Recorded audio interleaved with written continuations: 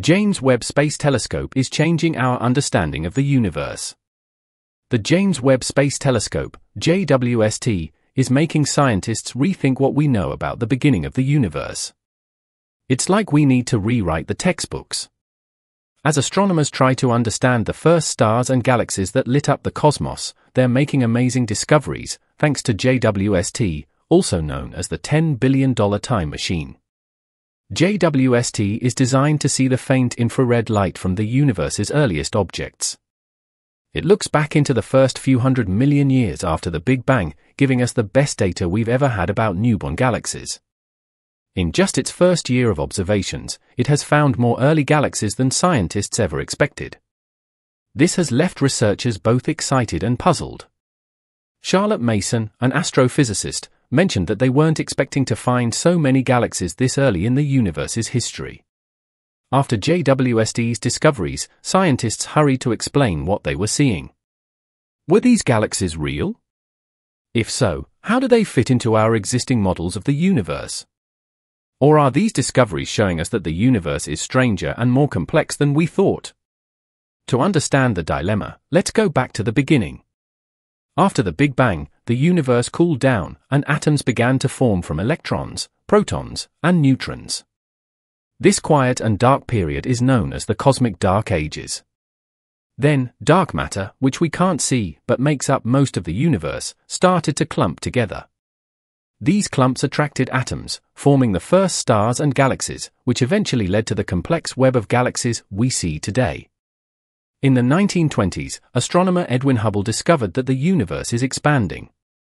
The Hubble Space Telescope, launched in the 1990s, found that this expansion is accelerating. Imagine the universe as a loaf of raisin bread. As the loaf rises, the raisins, galaxies, move further apart. This accelerated expansion is driven by dark energy, a mysterious force. To test our understanding of the universe, astronomers look at distant galaxies. The further away they are, the older they are, letting us see back in time. In 1995, the Hubble Space Telescope captured thousands of galaxies in a tiny patch of space, revealing much more than anyone expected. The most distant galaxy it found, GN-Z11, existed about 400 million years after the Big Bang. JWST was built to see even further back in time. It has already found galaxies incredibly close to the dawn of time, much sooner than our models predicted. This suggests that galaxies grew big very quickly in the early universe. Chris Lovell, an astrophysicist, said we don't expect to see such massive galaxies so early because there hasn't been enough time for them to form. However, some of these early findings are being re-evaluated. Some galaxies initially thought to be very old are now believed to be younger due to better data and telescope calibrations. For example, a galaxy called CEERS 1749 might actually be part of a cluster that's 12.4 billion years old, not 13.7 billion as first thought. To confirm these distances, JWST uses spectroscopy, which is more precise than just measuring brightness.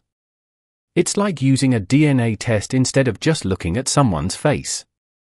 Combining both methods has given more accurate ages for some galaxies, but there's still much to learn. When a galaxy's light appears to drop off at longer wavelengths, it means the galaxy is more distant. The James Webb Space Telescope, JWST, has allowed researchers to identify spectra with redshifts up to 13.2. This redshift indicates that the light from these galaxies was emitted 13.2 billion years ago, almost at the beginning of the universe. As soon as this data was received, the researchers began to celebrate in their shared Slack group. Kevin Hain, an astronomer at the University of Arizona, shared that the group was ecstatic, repeatedly saying, Oh my God, oh my God, we did it, we did it. These early results are just the beginning of what could be groundbreaking discoveries in astronomy. Brant Robertson, another astronomer working with the JADES team at the University of California Santa Cruz, explained that the early universe changed rapidly in its first billion years. During this period, galaxies evolved 10 times faster than they do today. He likened this rapid evolution to a hummingbird, a small creature with a heart that beats so quickly, it lives a different life compared to other creatures. Similarly, these early galaxies had a much faster heartbeat than the Milky Way, evolving at a pace we previously didn't understand. However, this rapid evolution raised a question were these galaxies evolving too fast for the CDM, lambda cold dark matter, model to explain? As the public marveled at the new images from the JWST, researchers worked tirelessly to determine if these early galaxies fit into the existing CDM model or if new parameters needed to be introduced. One crucial aspect they examined was the masses of the earliest galaxies. Cosmologists try to determine a galaxy's mass from its brightness, but Megan Donahue, an astrophysicist at Michigan State University, noted that this relationship is based on educated guesses. These guesses rely on assumptions derived from known stars and well-studied galaxies. One key assumption is that stars always form within a certain statistical range of masses, known as the initial mass function, IMF. This IMF is essential for determining a galaxy's mass from its brightness because hot, blue, heavy stars produce more light, while most of a galaxy's mass is usually in cooler, red, small stars. However, if the IMF was different in the early universe, these early galaxies might not be as massive as their brightness suggests. This potential difference poses a challenge because altering this fundamental parameter in the CDM model could yield vastly different results. Some astronomers even consider adjusting the IMF as entering the domain of the wicked. Wendy Freedman, an astrophysicist at the University of Chicago, mentioned that if we don't understand the IMF, understanding galaxies at high redshifts becomes extremely difficult. Her team is working on observations and simulations to better determine the IMF in various environments. As the months passed, many experts began to suspect that adjustments to the IMF and other factors might be sufficient to reconcile the ancient galaxies observed by JWST with the CDM model. Rachel Somerville, an astrophysicist at the Flatiron Institute, believes it is likely that these observations can fit within the standard paradigm. She explained that the findings teach us how fast dark matter halos collect gas, how quickly the gas cools and becomes dense enough to form stars, and how these processes might have occurred more rapidly in the early universe. There is also a possibility that black holes played a significant role in the early universe. Some astronomers have discovered a few glowing supermassive black holes at a redshift of 6 or 7, which is about a billion years after the Big Bang. It is challenging to understand how stars could have formed, died, and collapsed into black holes that quickly. If black holes were present inside these early galaxies, they could explain why these galaxies seem so bright even if they are not very massive. Somerville suggested that black holes could be causing these galaxies to appear brighter, making them look more massive than they are. Confirmation that the CDM model can accommodate some of JWST's early galaxies came just before Christmas. Astronomers led by Benjamin Keller at the University of Memphis reviewed several major supercomputer simulations of CDM universes. They found that these simulations could produce galaxies as heavy as those spectroscopically studied by the JADES team. These galaxies, however, were smaller and dimmer than other early galaxies such as GLASS-z12. The simulation showed that galaxies of the size found by the JADES team could exist at a redshift of 10, and one simulation even created galaxies at a redshift of 13, matching JADES observations. These results indicated that none of the galaxies observed by JADES team fundamentally challenged the CDM model. However, these early galaxies have unique characteristics. Kevin Hainline pointed out that the stars in these galaxies appear unpolluted by metals from previously exploded stars. This suggests they could be population 3 stars, the first generation of stars to ever form. If true, this means JWST has already glimpsed back to a time when the universe was first set on its current course. Despite these profound findings, the early universe appeared unexpectedly bright and massive. Leah, who co-authored a recent paper, said that some of these early galaxies are as massive or even larger than the Milky Way, which is astonishing given their age. One galaxy might have a mass 100 billion times that of the Sun, comparable to our Milky Way which had 13 billion years to grow to its current size. Erica Nelson, an assistant professor of astrophysics at CU Boulder, called these findings universe breakers because they seem to defy our understanding of how quickly galaxies could form. For a brief moment, these discoveries seem to challenge the fundamental understanding of the cosmos. However, recent computer simulations guided by the standard cosmological model show that the universe could indeed have created some of the galaxies discovered by JWST. While the data initially seemed inconsistent with cosmological models, it is likely that our understanding of galaxy formation needs to evolve. There are many possible explanations for why early galaxies formed so quickly. One theory is that early stars formed more efficiently through mechanisms scientists have not yet considered.